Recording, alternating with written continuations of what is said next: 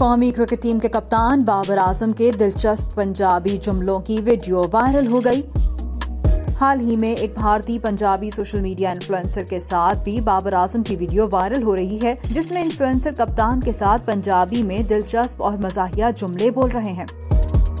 कप्तान की कभी खेल के मैदान में किसी को पंजाबी जुमला बोलते हुए तो किसी को प्रैक्टिस के दौरान पंजाबी में कुछ मजाहिया बोलते हुए वीडियो वायरल हो जाती है, जिन पे काफ़ी मीम्स भी बनाई जाती हैं। कौमी क्रिकेट टीम के कप्तान बाबर आज़म का ताल्लुक पंजाब से है, इसलिए उनका लहजा भी पंजाबी है और काफ़ी मकबूल है और उनकी अक्सर वीडियो सोशल मीडिया पे वायरल होती रहती है सोशल मीडिया पे वायरल वीडियो को सार्फिन की जानब ऐसी खूब पसंद किया जा रहा है और सार्फिन बाबर ऐसी अपनी मोहब्बत का इजहार कर रहे हैं